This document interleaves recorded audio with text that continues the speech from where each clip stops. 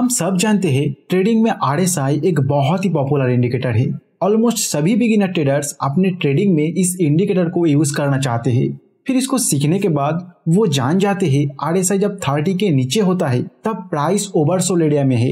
यहाँ पे बाय करना होगा, क्योंकि इसके बाद आर एस आई ऊपर जाएगा और प्राइस भी ऊपर जाएगा तो हमें प्रॉफिट होगा। एंड आर एस आई जब सेवेंटी के ऊपर होता है, तब प्राइस ओवरबॉट एरिया में है। यहाँ सेल करना होगा। क्योंकि इसके बाद आरएसआई नीचे जाएगा और प्राइस भी नीचे जाएगा। तो हमें यहाँ पे शॉर्ट सेल करके प्रॉफिट होगा। और ये भी सीख जाते हैं, थर्टी और सेवेंटी के बीच में जब आरएसआई होगा, तब ट्रेडिंग में एंट्री नहीं लेना है। दूसरा, प्राइस और आरएसआई के बीच जब बुलिस एंड बैरिश डाइवर्जेंस दिखाई देता है, तब बाई सेल करना होता है। इस रूल्स को भी सीख लेते हैं।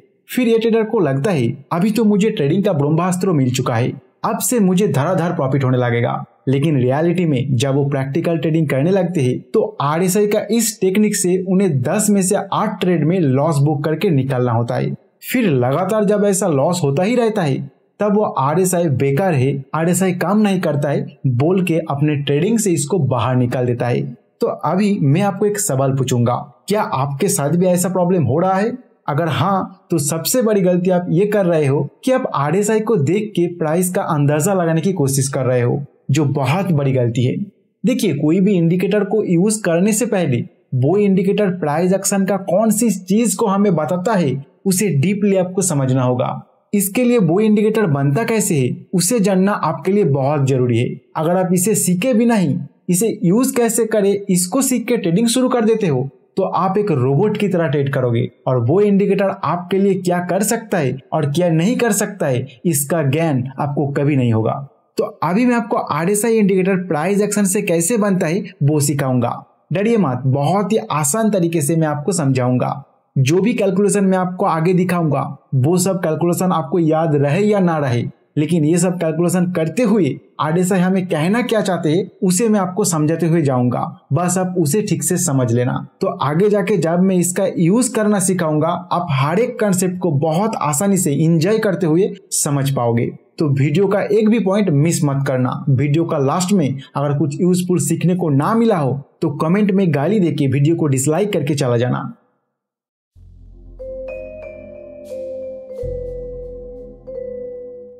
तो चार्ट में हम जब भी आर को प्लॉट करते, इसका डिफ़ॉल्ट पीरियड रहता है फोर्टीन मतलब रिसेंट कैंडल से प्रीवियस फोर्टीन कैंडल का प्राइस एक्शन से रिसेंट कैंडल का नीचे आरएसआई का वैल्यू निकाल के प्लॉट किया जाता है। और कैंडल टाइम फ्रेम कुछ भी हो सकता है, उससे कोई मतलब नहीं।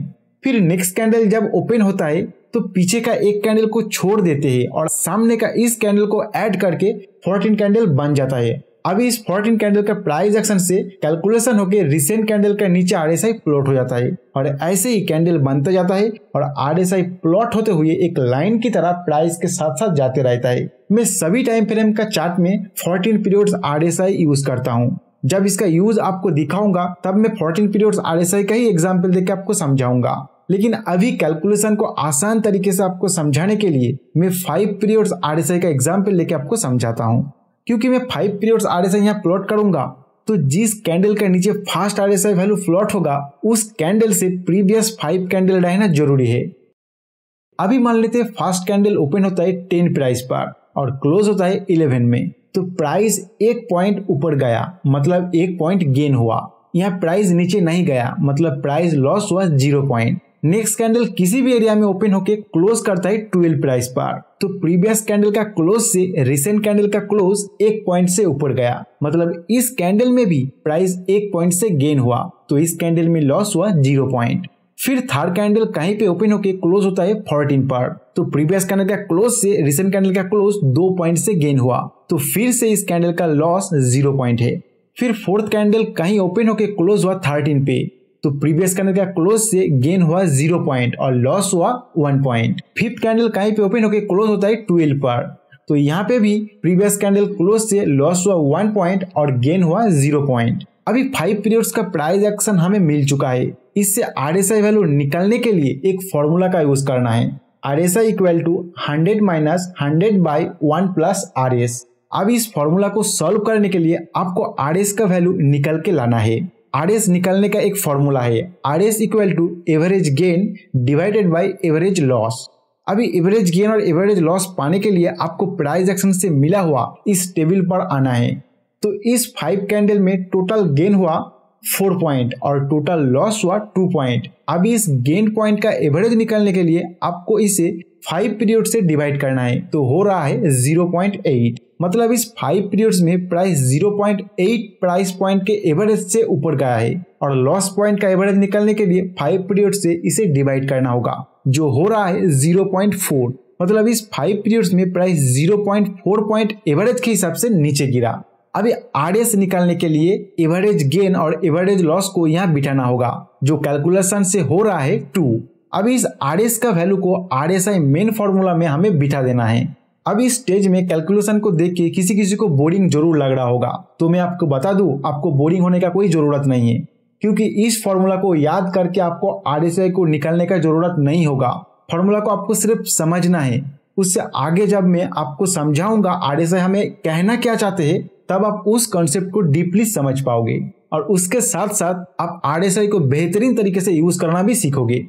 तो RSI का फॉर्मूला में हमें सभी न्यूमेरिक नंबर मिल चुका है। तो इसका कैलकुलेशन हम अभी कर सकते हैं। इसका कैलकुलेशन से हमें मिल रहा है 66.66 स्टेप बाय स्टेप कैलकुलेशन क्या हुआ है? आपको देखना है तो देख सकते हो। तो हमें इस लेटेस्ट कैंडल का आर एस आई मिल चुका है। यह R S I value zero का नीचे और हंड्रेड का ऊपर नहीं जाएगा, क्योंकि फॉर्मूला ही उसी तरह बनाया गया है। अभी मैं आपको आर एस आई और प्राइस का जो रिलेशन है, वो समझाने की कोशिश करूँगा। तो यहाँ आप देखिए प्राइस का जो ऊपर जाने का पॉइंट है, वो अगर इससे भी ज़्यादा होता तो क्या होता? तो प्राइस अगर ऊपर की ओर ज़्यादा गया होता तो गेन भी ज़्यादा होता। मान लेते प्राइस ज़्यादा ऊपर जाने के लिए गेन पॉइंट सिक्स हुआ।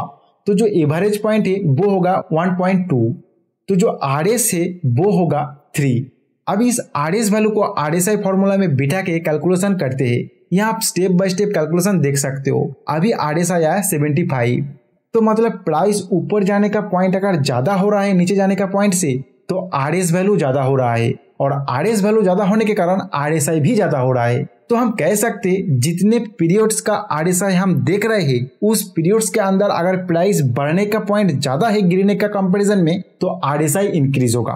लेकिन प्राइस अगर बढ़ने के जगह ज़्यादा गिरता है तो क्या होता है? एक बार देख लेते हैं।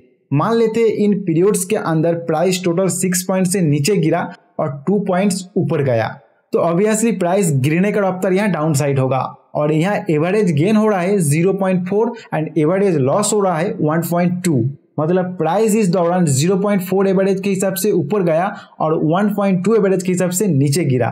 तो यहाँ आर एस हो रहा है 0.33 और आर एस आई फॉर्मूला से आर एस निकल के आ रहा है 23 पॉइंट समथिंग तो यहाँ आप देख रहे हो जब इस पीरियड्स में प्राइस गिरने का पॉइंट ज़्यादा हो रहा है, बढ़ने का पॉइंट से तो आरएसआई गिर रहा है।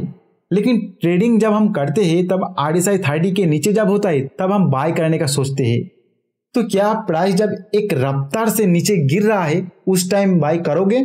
तो आपका आंसर होगा नहीं। लेकिन आप आरएसआई को देखते हुए ऐसा ही करते हो, और ज़्यादातर टाइम आपको लॉस बुक करना होता है। यहाँ बाय करना गलत नहीं है, लेकिन सिर्फ़ आरएसआई को देख के यहाँ बाय करना गलत है। इसको प्राइस एक्शन के साथ कॉम्बिनेशन में आपको बाय डिसीज़न लेना होगा, जो मैं आपको आगे सिखाऊँगा। अभी आरएसआई को देखते हुए उस पीरियड के अंदर प्राइस एक्शन में जो कुछ भी हुआ, उसका कंक्लूजन कैसे निकलता है, उसे समझने की कोशिश करते हैं। जैसे मान लेते हैं आर एस आई यहाँ पे फिफ्टी है तो हम जानते हैं R S I maximum hundred तक जा सकता है। तो 100 से करेंट आर को माइनस करना होगा। तो हो रहा है 50 अभी 100 को इस 50 से डिवाइड कर देना होगा। तो हो रहा है 2 अब इस 2 से 1 को माइनस करना होगा। तो हो रहा है 1 तो बढ़ने और गिरने का रेशियो हुए वन इज़ टू वन। मतलब अगर आर एस आई फिफ्टी है तो हमें जानने को मिल रहा है उस पीरियड्स के अंदर प्राइस अगर एवरेज वन पॉइंट ऊपर गया तो वन पॉइंट नीचे भी गिरा। मतलब आप मोटा मोटी कह सकते हो, इस दौरान प्राइस को बायर्स और सेलर्स कोई भी अपने कंट्रोल में नहीं कर पाया। दोनों ही प्राइस को अपने कंट्रोल में करने के लिए सेम एफर्ट डाल रहा है। अभी जो मैं आपको 50 आर से वन इस टू वन कैलकुलेशन करके दिखाया, जिससे आप प्राइस एक्शन का कंक्लूजन निकल पा रहे हो, ये कैलकुलेशन आप किसी भी RSI वैल्यू को देख के निकल सकते हो और उसका एक रेशियो आपको मिल जाएगा, जिससे आप प्राइस एक्शन का कंक्लूजन निकल पाओगे। और दो एग्ज़ाम्पल मैं देता हूँ ताकि ये कैलकुलेशन आपका दिमाग में बैठ जाए। मान लेते हैं आर एस आई सेवेंटी। तो फास्ट इसको आपको हंड्रेड से माइनस करना होगा। तो हो रहा है थर्टी। अभी हंड्रेड को इस थर्टी से डिवाइड करना होगा। तो हो रहा है थ्री पॉइंट थ्री थ्री। इस थ्री पॉइंट थ्री थ्री से वन माइनस कर देना होगा। तो हो रहा है टू पॉइंट थ्री थ्री। तो बढ़ने और गिरने का रेशियो हो रहा है two point three three is to one. मतलब उस पीरियड्स के अंदर प्राइस अगर वन पॉइंट नीचे गिरा तो टू पॉइंट थ्री थ्री ऊपर चढ़ा।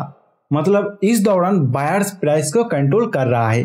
अभी मान लेते हैं आर एस आई थर्टी अभी हंड्रेड से थर्टी को माइनस करना होगा तो हो रहा है सेवेंटी अभी हंड्रेड को सेवेंटी से डिवाइड करना होगा तो हो रहा है one point four two one point four two से वन माइनस कर देना होगा तो हो रहा है ज़ीरो पॉइंट फोर टू तो बढ़ने और गिरने का रेशियो हो रहा है zero point four two is to one मतलब इस पीरियड्स के अंदर प्राइस अगर वन पॉइंट नीचे गिरा तो ऊपर चढ़ा ज़ीरो पॉइंट फोर टू मतलब प्राइस के ऊपर इस दौरान सेलर का कंट्रोल है।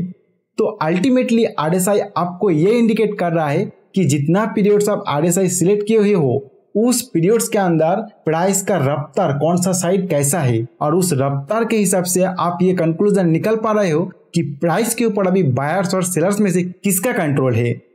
अभी आप देखिए प्राइस एक्शन से भी इस कंक्लूजन तक आप पहुँच सकते थे। लेकिन प्राइस एक्शन के ऊपर इतना डीप अंडरस्टैंडिंग एक बिगिनर लेवल ट्रेडर का नहीं होता है। तो उन्हें प्राइस एक्शन को समझने के लिए आरएसआई का हेल्प लेना पड़ता है।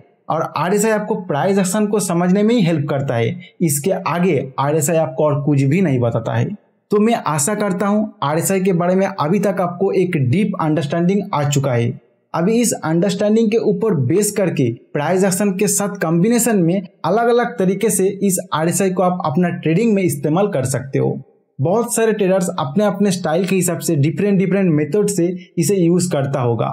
लेकिन मैं मेनली आर को तीन तरीके से यूज़ करता हूँ। फ़र्स्ट प्राइस ट्रेंड का कंफर्मेशन लेने के लिए। Second bullish plus bearish divergence with price action के कॉम्बिनेशन के साथ। And hidden bullish plus hidden bearish divergence with price action के कॉम्बिनेशन के साथ एंड थर्ड प्राइस एक्शन से मिला हुआ बाइसेल डिसीज़न का कंफर्मेशन लेने के लिए। तो ये सभी टॉपिक आपको नेक्स्ट वीडियो में डिटेल्स के साथ समझाऊँगा। अभी समझाने जाऊँगा तो वीडियो बहुत लंबा हो जाएगा। तो नेक्स्ट वीडियो जिनको चाहिए, वो कमेंट में R S I part two ज़रूर लिख देना। इस वीडियो में दिया हुआ जानकारी अगर आपको अच्छा ना लगे तो क्या करना है आपको पता ही है। लेकिन अगर अच्छा लगा, कुछ यूजफुल सीखने को मिला तो वीडियो को अपने ग्रुप में शेयर ज़रूर करना। इस वीडियो में फ़िलहाल इतना ही। मिलते हैं नेक्स्ट वीडियो में नए कोई कंसेप्ट के साथ।